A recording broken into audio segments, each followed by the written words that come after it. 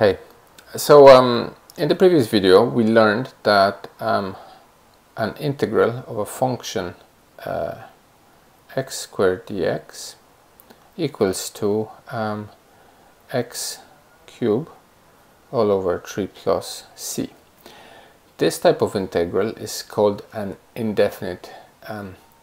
integral because we're actually we're not really getting a value of an integral we're just getting an expression or a function um, that corresponds to a function that uh, when we uh, differentiate we're going to get what we started with and um, the fact that we're seeing this constant of integration c tells us that um, this is uh, an indefinite integral. So what we want to take a look at in uh, this video are um, definite integrals. So integrals where we're actually concerning ourselves with finding the value of a function at the end of the integration. So um, what I'm going to do is I'm going to take a look at, and actually what needs to be said is that when we're finding the value of an integral, what we need to make sure is that we include the boundaries of the inter integral. So what I want to find is what is the value of the integral of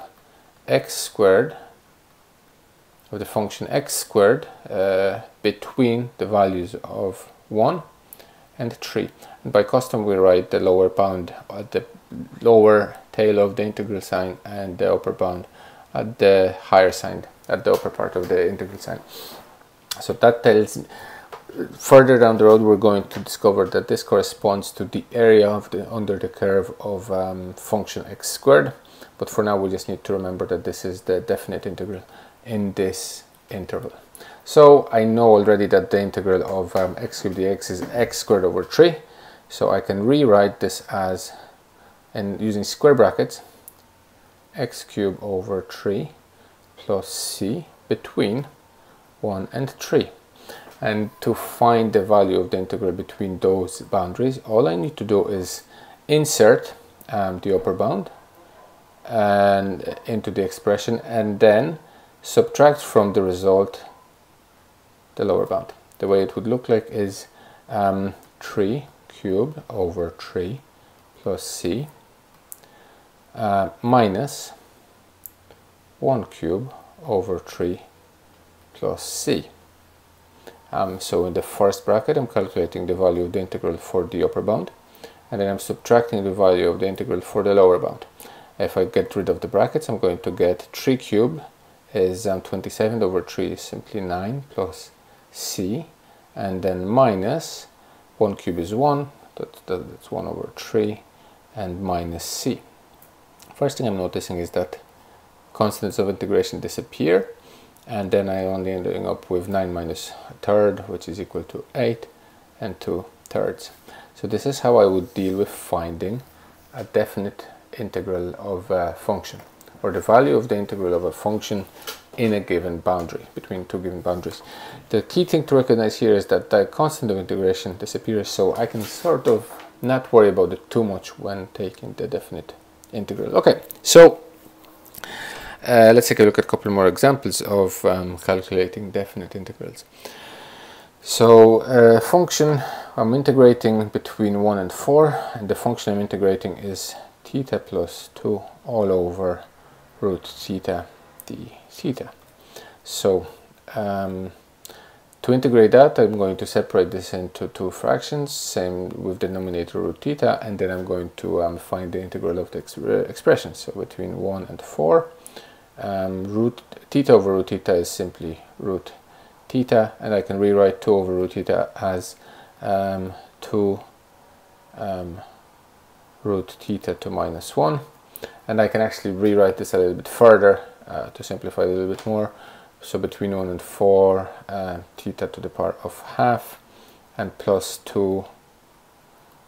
uh, theta to minus uh, half. So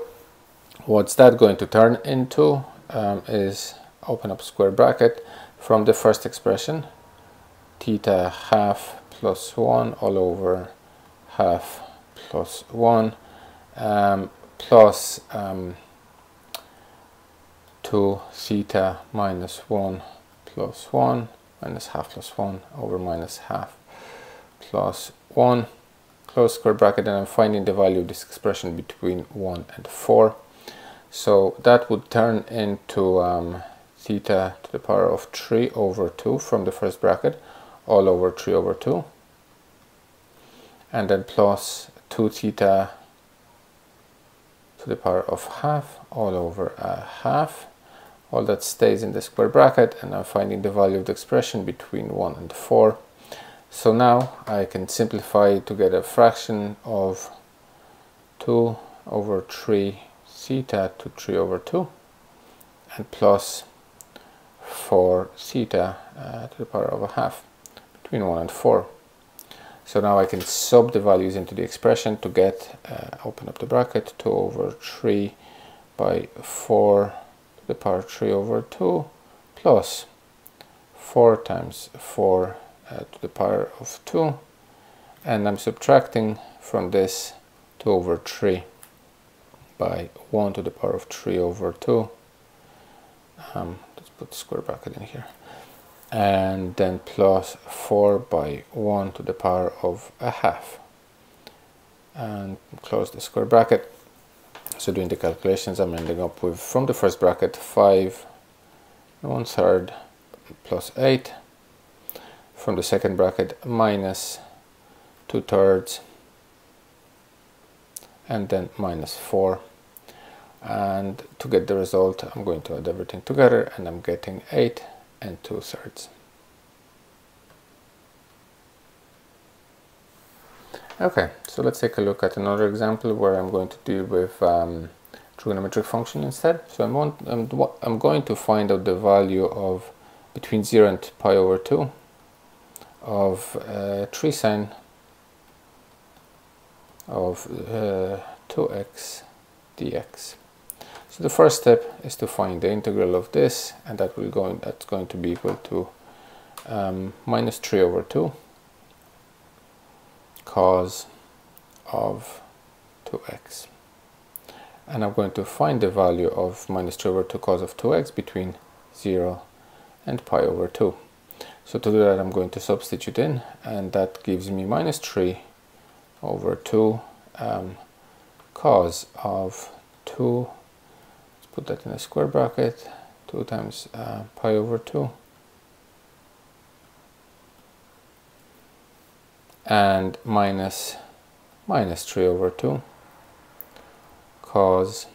of uh, 2 times 0 that's the argument. Close the square bracket.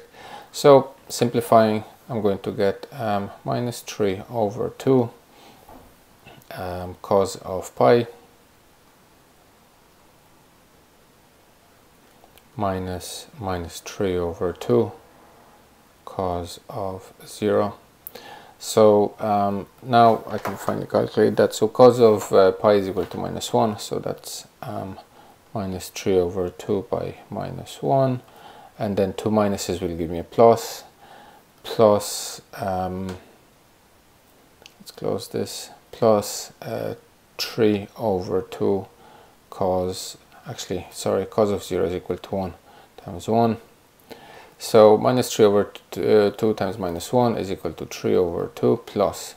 3 over 2 and that equals to 3 um, 3 over 2 plus 3 over 2 that's 6 over 2 and that equals to 3 okay uh, so then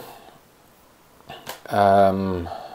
we can take a look at another example. Actually, I want to take a look at the exponential functions. So let's take a look at between 1 and 2. I want to take a look at functions for e to the power of 2x and all dx, of course. So the integral of this is um, uh, 4 times 1 over 2 e to the power of 2x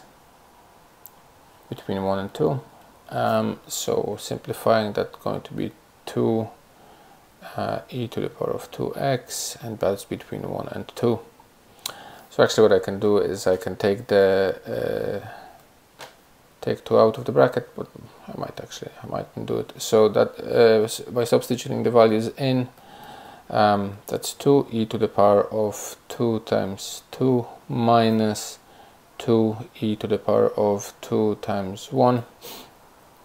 um, so that will be equal to 2e to the power of 4 minus 2 um,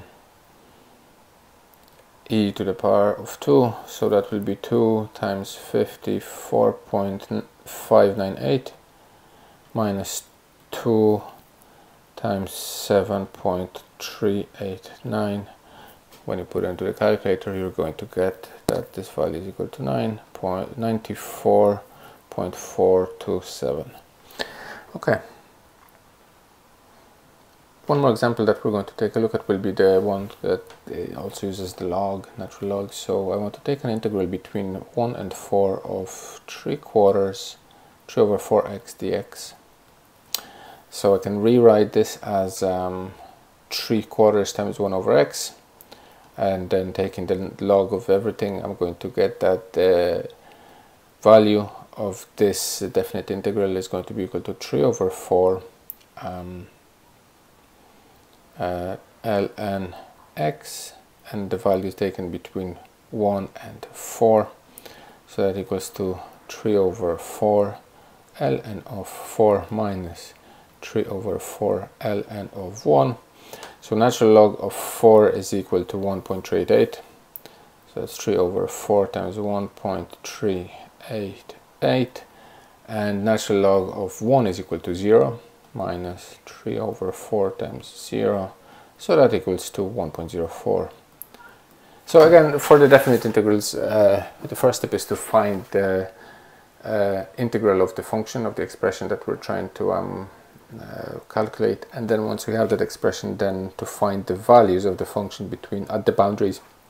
then subtract and that will give us our result. That's it for today and um, hope you found this useful. And then we're going to continue with the integrals going uh, going forward. So next time we're going to take a look at um, the